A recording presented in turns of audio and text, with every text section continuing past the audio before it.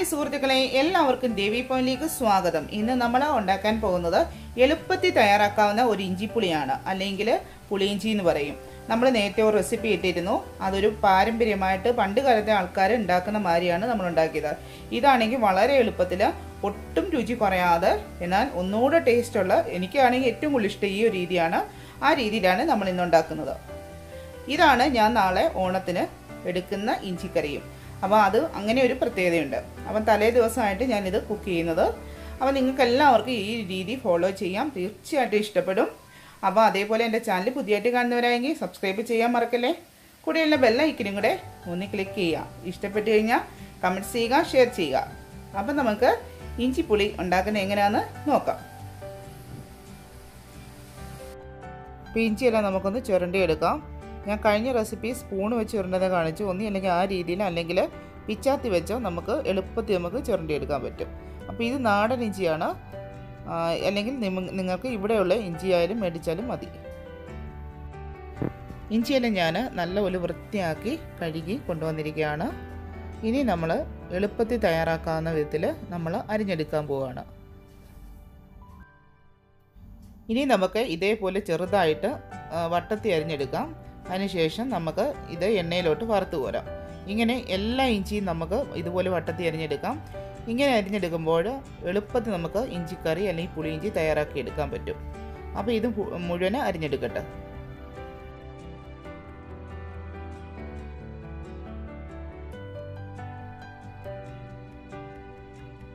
ഇനി നമുക്ക് ഒരു അഞ്ചാറ് പച്ചമുളകും കൂടെ ഇതേപോലെ വട്ടത്തിൽ ഇച്ചിരി നീളത്തിൽ അരിഞ്ഞെടുക്കാം. ഇത് നമുക്ക് ഇഞ്ചി വറുത്ത് കഴിഞ്ഞ ശേഷം ആ എണ്ണയിൽ തന്നെ നമുക്ക് പച്ചമുളകും കൊണ്ട് വറുത്ത് പോരാം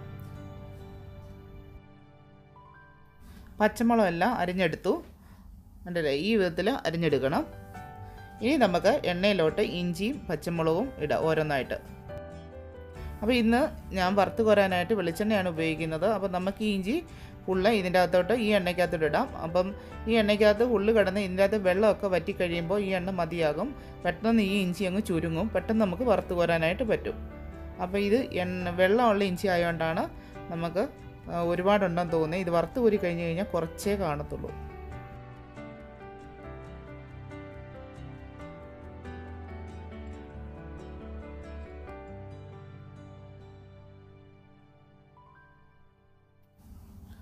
അപ്പോൾ നമ്മൾ ഇടയ്ക്കിടയ്ക്ക് ഇങ്ങനെ ഒന്ന് ഇളക്കി കൊടുത്തോണ്ടിരിക്കണം. അപ്പോൾ ചെറുതായിട്ട് അത് നല്ലപോലെ ഒന്ന് ക്രിസ്പി പരുവാകുമ്പോൾ നമുക്കിത് പൊരിയെടുക്കാം.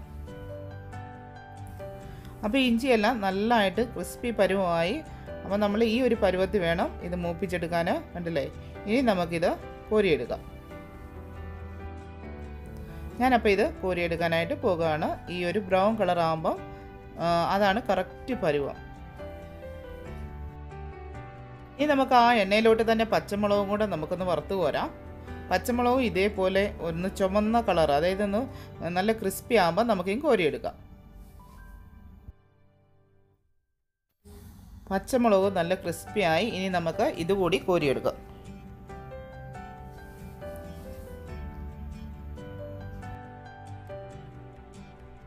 അപ്പോൾ നമ്മൾ ഈ ഇഞ്ചിക്കറിക്ക് ആവശ്യമുള്ള പുളി നമ്മൾ ചൂടുവെള്ളത്തിൽ ഇട്ടിരുന്നു. കായപ്പൊടി പിന്നെ മഞ്ഞൾപ്പൊടി ശർക്കര അതായത് ഉലുവ. ഇത് ഇത്രയാണ് നമ്മൾ ഇനി ഇതിനായിട്ട് ചേർക്കാനുള്ളത്. ഇനി നമുക്ക് ഇഞ്ചിയും ഈ പച്ചമുളകും കൂടെ ഒന്ന് മിക്സി വെച്ച് ഒന്ന് പൊടിച്ചുകൊണ്ട് വരാം. ഇഞ്ചിക്കറി വെക്കാനായിട്ട് ഞാൻ ഇതേപോലെ ഒരു കലത്തിലോട്ട് പുളിവെള്ളം ഒഴിക്കുകയാണ്. അപ്പോൾ ഇത് ഇതിലേക്ക് നമുക്കിനി ഇഞ്ചി പൊടിച്ചതും കൂടെ നന്നായിട്ട് മിക്സിയിൽ ആ പൊടിച്ച് വെച്ചിരിക്കുന്ന ഇഞ്ചിയും കൂടെ നമുക്ക് ഇതിന്റെ അകത്തോട്ട് ചേർത്ത് കൊടുക്കാം. ഇഞ്ചി അപ്പം നന്നായിട്ട് നമ്മൾ പൊടിച്ചുകൊണ്ട് വെച്ചിരിക്കുകയാണ്. ഈ ഒരു പരുവത്തിലാണ് ഇഞ്ചി പൊടിച്ചെടുക്കേണ്ടത്. കണ്ടില്ല? ഈ ഒരു പരുവത്തിൽ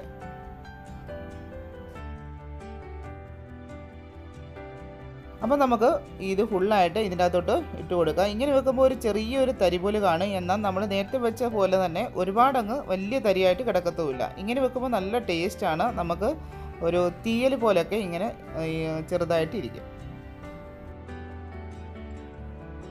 അപ്പോൾ ഇഞ്ചിയും പുളിയും കൂടെ നന്നായിട്ടൊന്ന് വെട്ടിത്തിളക്കട്ടെ ഇനി നമുക്ക് ഇതിന്റെ അകത്ത് ബാക്കിയുള്ള പൊടികളെല്ലാം കൂടെ നമുക്ക് ചേർത്ത് കൊടുക്കാം.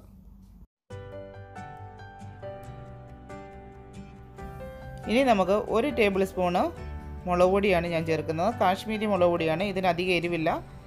സാധാ മുളക് പൊടിയാണെങ്കിൽ നമുക്ക് ഒരു മുക്കാൽ ടേബിൾ സ്പൂണോ എല്ലാം ചേർത്താൽ മതിയായിരിക്കും. അപ്പോൾ ഞാൻ ഇതിന്റെ അകത്ത് ഒരു ടേബിൾ സ്പൂണാണ് കറക്റ്റ് ചേർത്തേക്കുന്നത്. ഇനി ഇതിന്റെ അകത്തൊരു കാൽ ടേബിൾ സ്പൂൺ മഞ്ഞൾപ്പൊടി നമുക്ക് ചേർത്ത് കൊടുക്കുക. അപ്പോൾ ഈ മഞ്ഞളും മുളകും എല്ലാം ഇത് നന്നായിട്ടൊന്ന് വെട്ടി തിളക്കട്ടെ ഇനി നമുക്ക് ഇതിന്റെ അകത്തോട്ട് കുറച്ച് കായം കൂടെ ചേർത്ത് വെക്കാം. അതായത് ഏകദേശം ഒരു നുള്ളു കായം മതി. ഒരു അത്രയും കായം മതി. പിന്നെ ഇനി ഒരു ഒരു നുള്ളു ഉലുവയും കൂടെ. അത് ഓപ്ഷനാണ്. വേണമെങ്കിൽ ചേർക്കാവുന്നതാണ്. അപ്പോൾ ഇങ്ങനെ ചേർക്കുമ്പോൾ നല്ല ടേസ്റ്റാണ്. ഇങ്ങനെ തന്നെ ഒന്ന് ഉണ്ടാക്കി നോക്കുക. പിന്നെ നമുക്ക് മധുരത്തിന് ആവശ്യമായ ശർക്കര. നമ്മുടെ മധുരം എത്ര വേണോ അതിനനുസരിച്ച് ശർക്കര നമുക്ക് ചേർത്ത് കൊടുക്കാം. ഞാൻ ഇവിടെ രണ്ട് സ്പൂണാണ് ചേർത്തേക്കുന്നത്. ഇനി നന്നായിട്ടൊന്ന് വെട്ടിത്തിളച്ച് നന്നായിട്ട് കുറുകി വരണം. അതുവരെ നമുക്ക് വെയിറ്റ് ചെയ്യാം. ഇനി നമുക്ക് ഇതുപോലെ ഇതിന്റെ അകത്ത് ആവശ്യമുള്ള ഉപ്പ് കൂടി ചേർത്ത് കൊടുക്കണം.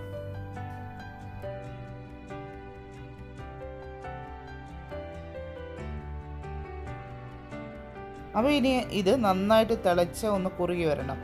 അപ്പോൾ ഇതൊരു മീഡിയം ഫ്ലെയിമിൽ നമുക്ക് ഇട്ടിട്ട് നന്നായിട്ട് തിളക്കട്ടെ. തിളച്ചിട്ടൊന്ന് കുറുകി വരട്ടെ. അപ്പോൾ നമുക്ക് എല്ലാം ബാക്കി ഇനി ഒന്നും ചേർക്കാനില്ല. ലാസ്റ്റ് ഇനി കടുവ് വറുത്ത് മാത്രം ചേർത്താൽ മതി. മധുരമൊക്കെ നിങ്ങളുടെ ആവശ്യം തന്നെ ചേർക്കുക. എരിവിനനുസരിച്ച്.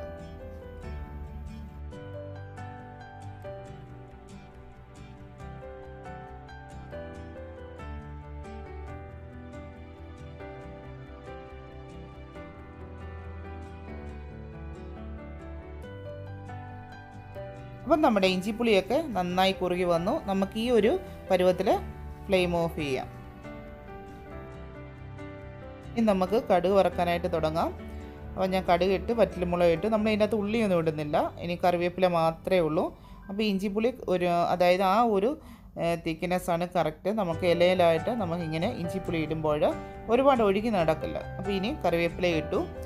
ഇനി നമുക്ക് ഇത് കറിവേപ്പിലയും കൂടെ നന്നായിട്ടൊന്ന് വാടി വരുമ്പോൾ നമുക്ക് കറിയിലേക്ക് ചേർക്കാം.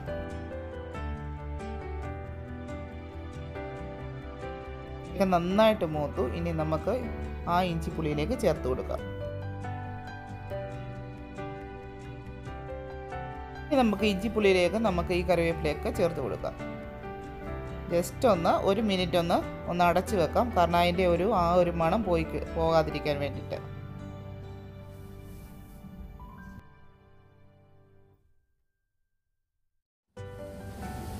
നമ്മുടെ ഇഞ്ചിപ്പുളി എല്ലാം റെഡിയായി. അല്ലെങ്കിൽ ഇഞ്ചിക്കറി എല്ലാവരും ഇതേപോലെ ഉണ്ടാക്കി നോക്കുക. നല്ല ടേസ്റ്റാണ്. വളരെ എളുപ്പത്തിൽ നമുക്കിത് തയ്യാറാക്കാൻ പറ്റും. അപ്പോൾ ഇത് കുറേ ദിവസം ഇരിക്കും. അപ്പോൾ എല്ലാവരും ഉണ്ടാക്കി നോക്കുക. ഇഷ്ടപ്പെട്ടുവെങ്കിൽ കമന്റ്സ് അയയ്ക്കുക ഷെയർ ചെയ്യുക. അപ്പോൾ എല്ലാവർക്കും എന്റെ ഓണാശംസകൾ. ഇനി നമുക്ക് നല്ല നല്ല റെസിപ്പിയുമായി വീണ്ടും കാണുന്നിടം വരെ തൽക്കാലത്തേക്കിനും ടാറ്റാ.